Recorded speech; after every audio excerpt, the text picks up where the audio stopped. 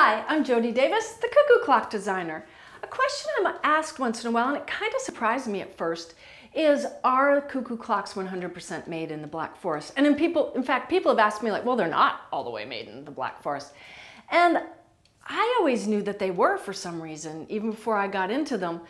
But I wanted to just set that aside for now because they are completely made in the Black Forest. And that's what's so amazing, I think, about that still to this day they, they started making these clocks in the mid 1700s and they were actually one person, one clockmaker would make all the parts. So you can imagine it was very slow. And then there started to be specialization where somebody made the bellows and somebody made like the movement. The movement is what powers up, what powers the time on the clock and then also powers the cuckoo and it's got all these wheels in there and everything, and it's pretty complex, at least to me. but Regula now is the maker. Other people make them, but they're the go-to people.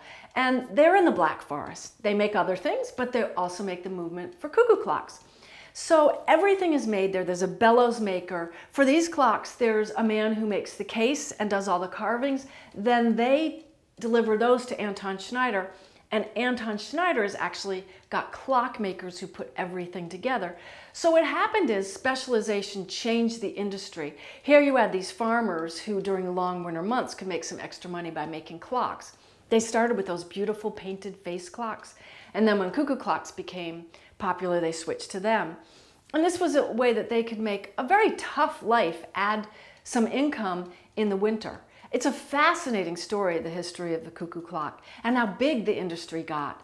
And yes, they are still 100% made in Black Forest, which adds to the whole magic of it. Even the chains are made there.